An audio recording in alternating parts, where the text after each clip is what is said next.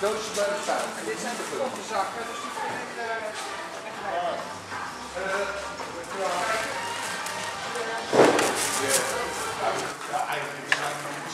Met, met passie, hè? Dat is wel duidelijk. Ja, hè? Met passie. Het broodvrouwtje. Het broodmeisje. Broodvrouwtje, ja, broodmeisje. Nee, zo Christy zei vanaf het begin af aan, zegt dat is mijn broodmeisje. dus ik ben broodmeisje.